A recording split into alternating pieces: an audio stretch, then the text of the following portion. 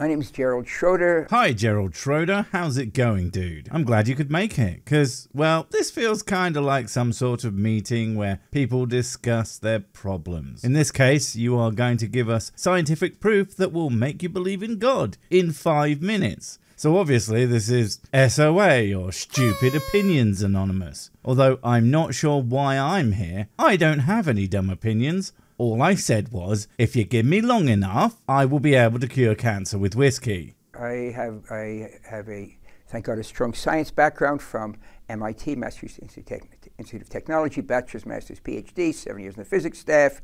All right, calm down, Mr. Overqualified. If anything, sitting here listing off a bunch of impressive sounding things, well, it kind of makes me less inclined to think you are about to say something actually, you know, smart and accurate and all that. Because really, anything you could say should be able to stand on its own legs without you having to throw out what a big brain authority you are on a bunch of subjects. A bunch of subjects, mind you, that have little to nothing to do with the topic at hand. So, yeah.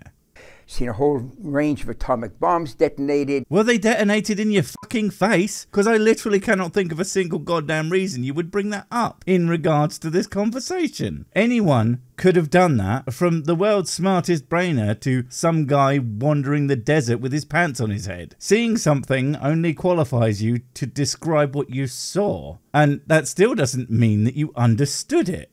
Moved to Israel, met my wife, Barbara Sofer, a great writer. My God, man, how much meaningless information are you going to give us about you? Because I would stop. The more you keep prattling, the more I'm going to think you don't actually have anything to back up the title of your video here. Having a wife is not exactly a rare thing after all, unless he's trying to make himself relatable. But then what about the unmarried? Obviously, they aren't going to believe anything you say, because that's how science works. And uh, then. Uh teach Torah and science. So luckily, I'm, I'm, I'm lucky that I have the two that come together. You taught a religious text and science. Crikey, I hope not at the same time, because that would make for some awfully confusing lessons. It would be a lot like, God did this. And here's the scientific explanation, which is nothing like what the book says. Tests on Tuesday, don't fuck it up. And one of the questions a, that I'm asked as a scientist. Oh, oh, I have one. If the universe is infinite and time is also infinite, why does my head hurt the morning after a 72 hour drinking binge? I mean, I made sure to mix my drinks and eat absolutely nothing whilst getting as little actual water into my body as possible. I just don't understand.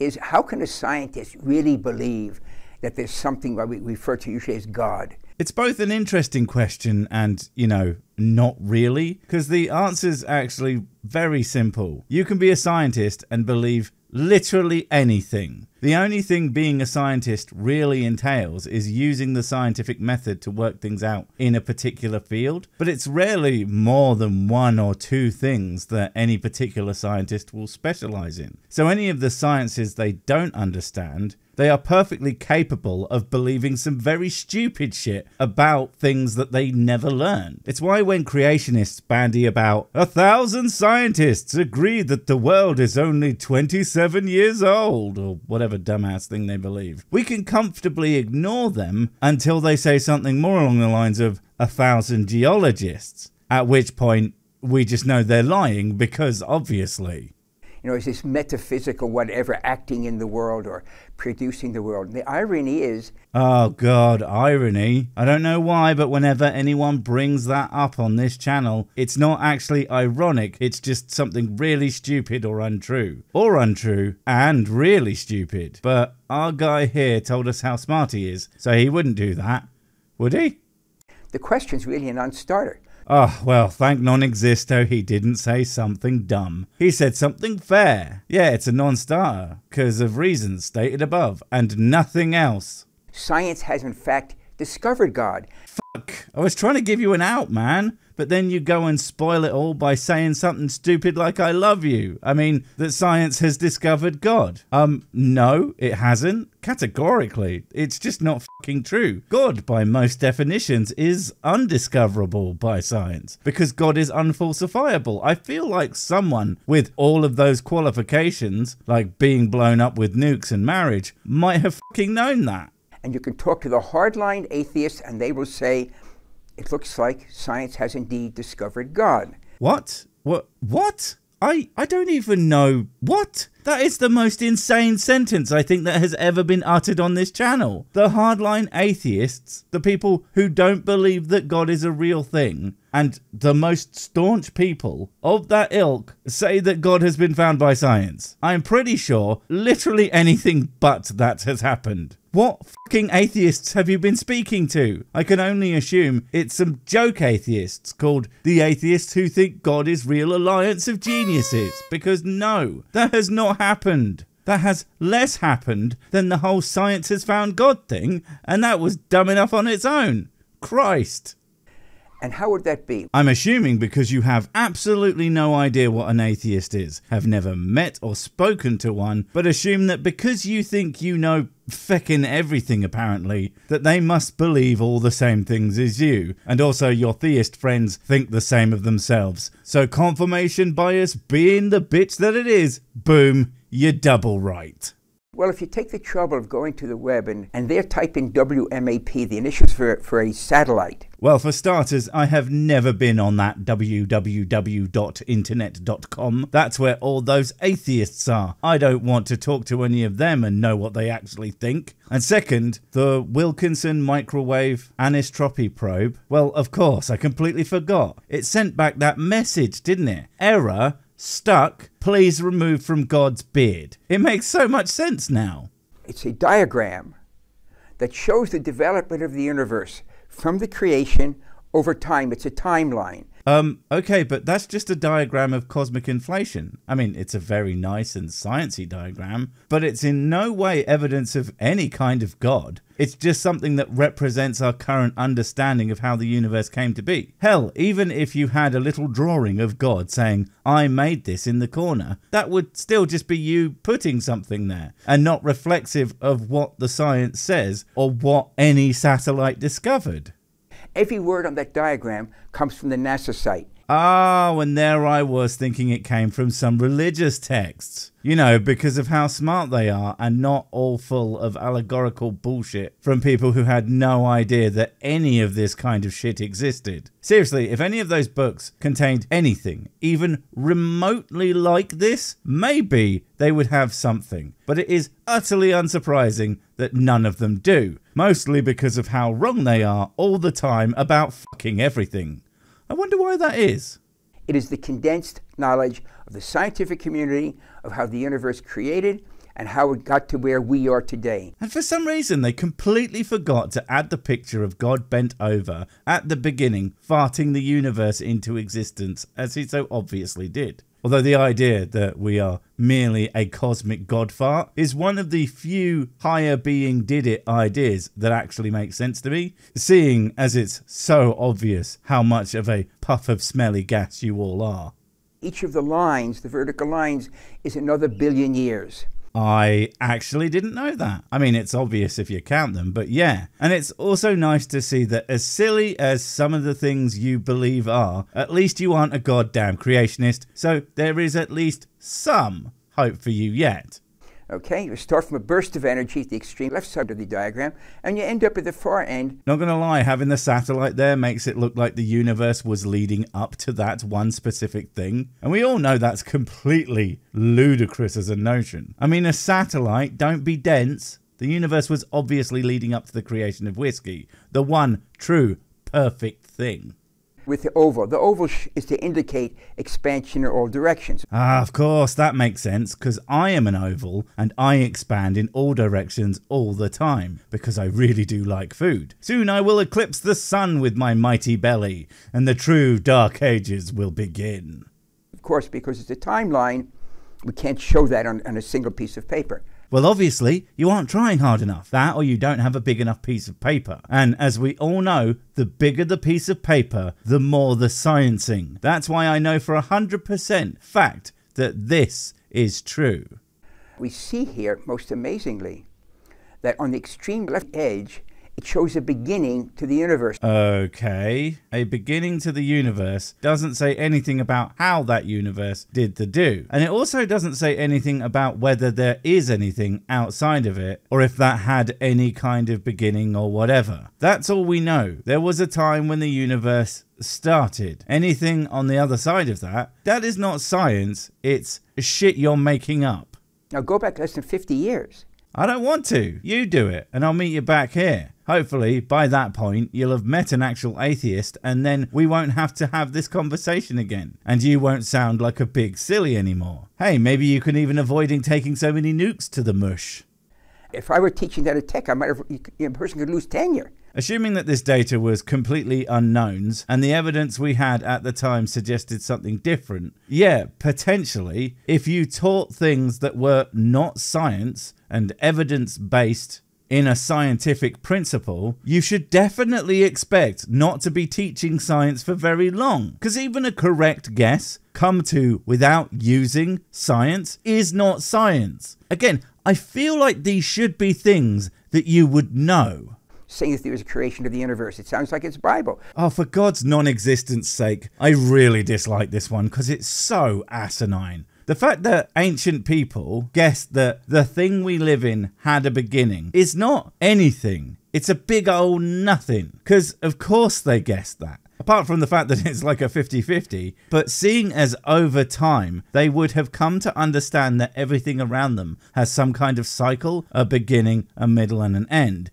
it stands to reason they would imagine that even reality itself would be similar. All religions do is attempt to explain nature, so of course, all their explanations would attempt to bring it all together, no matter if the details were often completely fucking wrong because less than 50 years ago, the overwhelming scientific opinion was the universe is eternal. Okay, so what? They were wrong. That's the beauty of science. It changes to follow the facts as they are understood, unlike whatever book of ghosts and goblins you follow for probably not very good reasons that always stays the same. And I don't know how any of this is going to convince anyone who doesn't already think it that God is totally real. So far, it's just been here's some fake science. Do you believe yet? There was never a beginning. The Bible is wrong from the very first sentence. And then it wasn't. It got one flip of the coin thing right. And so all the rest of it was obviously all 100% on point all of the time. Oh, wait, it's not. In fact, anything that attempts to explain pretty much anything in nature in that book is often ludicrously wrong. And its stories of massive world events are utter nonsense with no evidence to support them. Me am the big surprise.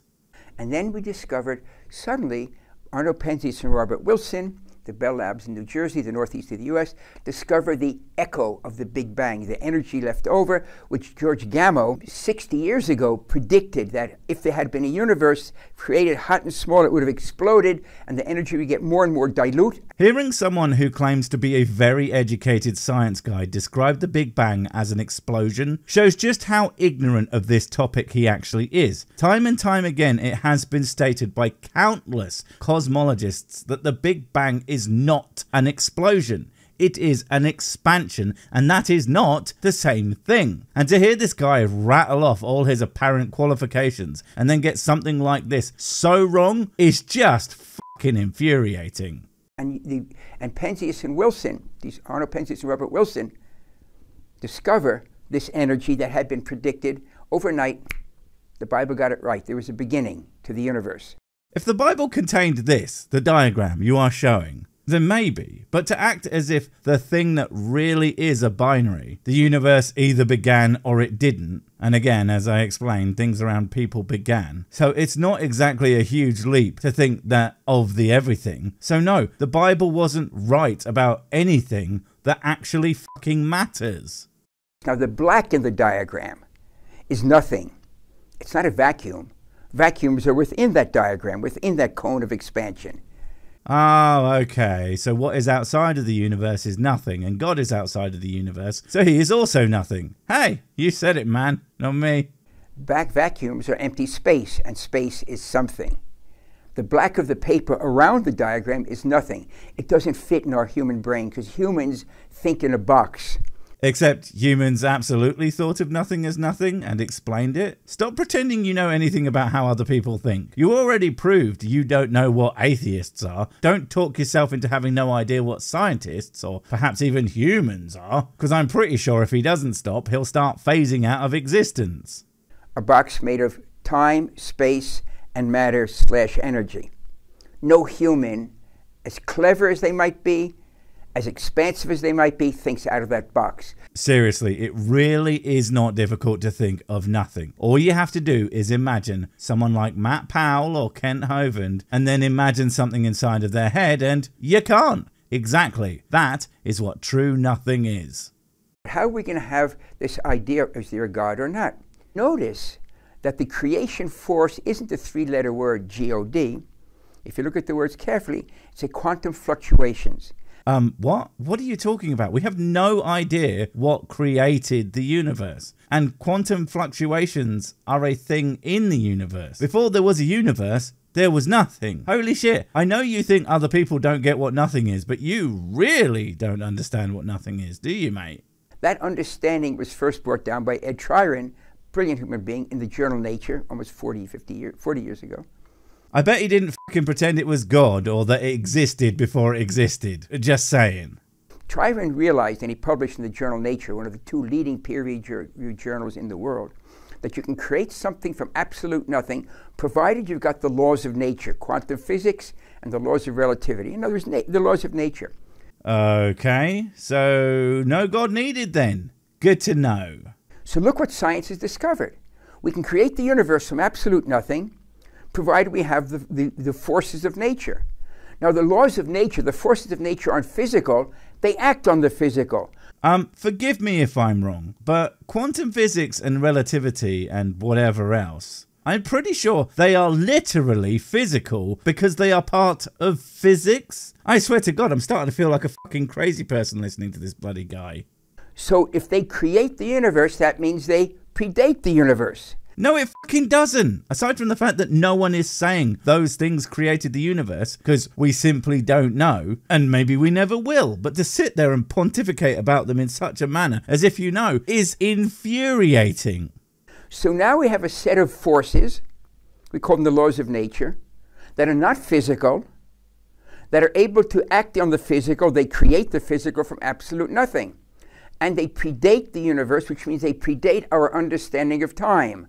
They are physical. They act on the physical because that's what they are. The laws of nature came into existence at the same time as everything else, including time, which of course means that they couldn't possibly have predated the fucking universe because time didn't exist. And they are part of it. I think this man might be a fucking moron.